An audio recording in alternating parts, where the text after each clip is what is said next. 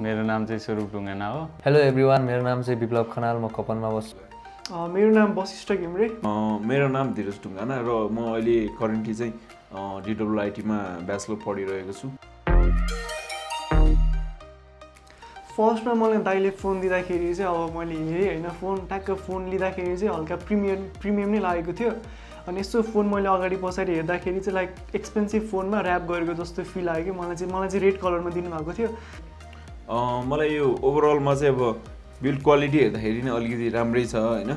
Colour पनि अब जस युनिक निक्ले जस्तो लागिरहेछ। अनि के भयो भन्दाखेरि अब यसको युआईहरू पनि मलाई ठिकै लाग्यो। पर्सनल्ली अब म स्यामसङ चलाउने भएर पनि यसलाई ठिकै लाग्यो होला। अलि फर्स्ट टाइम हेर्दाखेरि चाहिँ अहिले लाग्दैन तर यो चलाउँदै गइसकेपछि अलि सस्तो सस्तो खाले फोन जस्तो लाग्छ अलि यताउति हेर्दाखेरि चाहिँ नचहरू रहेछ यसमा।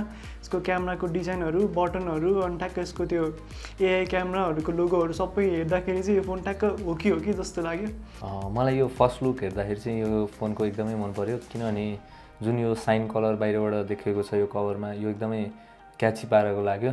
बिल्ड क्वालिटी चाहिँ अलि राम्रै छ किन भन्दाखेरि प्लास्टिक बडी भए तापनि अलि कम्प्याक्ट जस्तो छ अनि हातमा राम्रोसँग बस्छ अनि फिल पनि राम्रो छ यसको। त्यही टेन एटिपी प्यानल नभएर चाहिँ अलि झ्याउ पनि हुन्छ। डिस्प्ले चाहिँ नर्मल्ली अलिकति केही नपुगे हो कि जस्तो पनि लागिरहेछ मलाई। नर्मल्ली मैले चाहिँ अब फुल स्क्रिनमा हेर्छु होइन अनि अब फुल स्क्रिनमा मैले युट्युब डिस्प्ले हेर्दाखेरि चाहिँ ठिकै लाग्यो। मैले चाहिँ अब ट्राभल भिडियोजहरू धेरै हेर्ने हुन्छु त्यसमा चाहिँ कलरहरू मजाले पप हुन्छ अनि यो फोनमा पनि कलरहरू मजाले नै आएको थियो। जुन डिस्प्लेमा जानु पर्दाखेरि चाहिँ मलाई यो फुल एचडी रहेन रहेछ। तर फेसबुक युट्युबहरू चलाउनलाई मलाई राम्रै लाग्यो यो फोन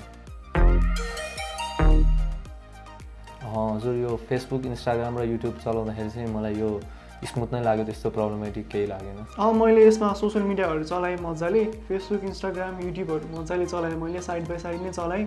फर्स्टमा मैले केही प्रब्लम फेस गरेँ भन्दा इन्स्टाग्रामहरू चल्दाखेरि चाहिँ हल्का स्क्रोलिङ गर्दाखेरि ल्याग हुँदो रहेछ। नत्र त ठिकै छ तिनटै एप्लिकेसनहरू मजाले चलिरहेको थियो। हल्का स्क्रोल गर्दाखेरि चाहिँ लाइक अड्किरहेको जस्तो फिल भयो मलाई चाहिँ। तर आई थिङ्क यो यो बजेट फोनमा त्यो त्यो हुनु भनेको त स्वाभाविक नै हो।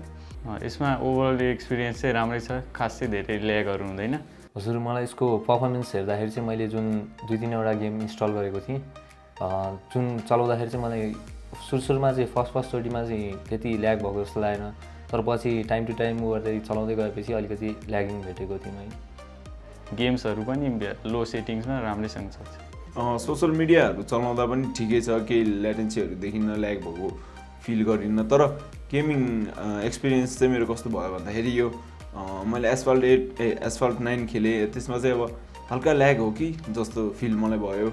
अब मैले टेम्पल रन पनि खेलेँ त्यसमा चाहिँ खासै केही प्रब्लम थिएन। पब्जी खेल्दाखेरि चाहिँ हल्का हल्का ल्याग हो कि जस्तो भयो। अनि ओभरअल जस मलाई बेस्ट पार्ट लागेको भने चाहिँ अब ब्याट्री हो। अब गेम खेल्दाखेरि पनि ब्याट्री चाहिँ राम्रै ब्याकअप दिइरहेको थियो। तर अलिकति फोन तातेको हो कि जस्तो चाहिँ भएको थियो। फोटो मैले हल्का एक दुईवटा सेल्फीहरू अनि लाइक मेरो इन्स्टामा पोस्ट गर्नको लागि एक दुईवटा फोटोहरू खिचेको थिएँ। ओभरअल फोटो ठिकै छ त्यस्तो मलाई हाई क्वालिटी चाहिँ लागेन फोटोको तर क्वालिटी ओभरअल ठिकै छ। अलिकति ब्युटिफाई गरेको त्यो नेचुरल चाहिँ नदेखिँदो रहेछ। त्यही पनि अब मैले सोसियल मिडियामा पोस्ट गर्नु पऱ्यो भने एज अ स्टोरी चाहिँ मैले फोटोहरू युज गर्छु तर एज अ पोस्ट चाहिँ युज गर्दिनँ होला।